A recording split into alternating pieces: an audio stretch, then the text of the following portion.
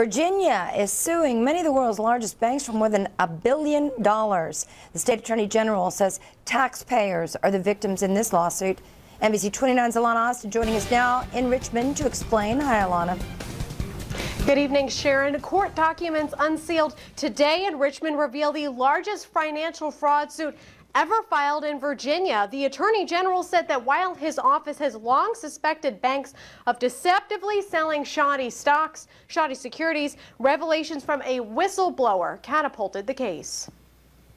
It doesn't matter if you're a small-time con artist or a multi-billion dollar Wall Street bank. If you try to rip off Virginia consumers or Virginia taxpayers, we will catch you and you will be held responsible.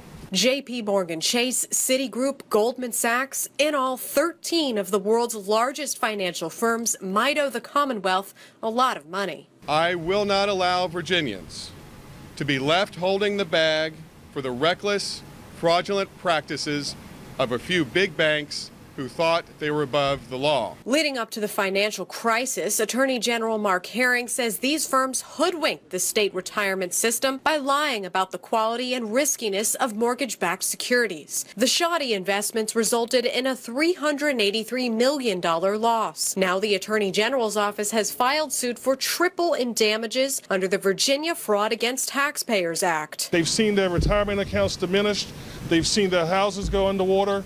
And so I want to again applaud the Attorney General for taking this step. The whistleblower in this case, a financial analysis company, used proprietary and sophisticated models to link data. If the Commonwealth succeeds in squeezing cash out of the banks, the firm will snag between 15 and 20 percent of the sum. It remains unclear how the money would return to the victims, but Herring assured the media that firms will not get away with preying on the vulnerable.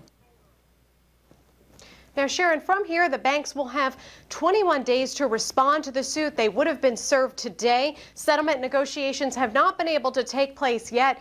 We don't know what the legal route will be here, Sharon, but it is likely to be a lengthy one. No doubt. Alana Austin, live in Richmond tonight. Alana, thank you.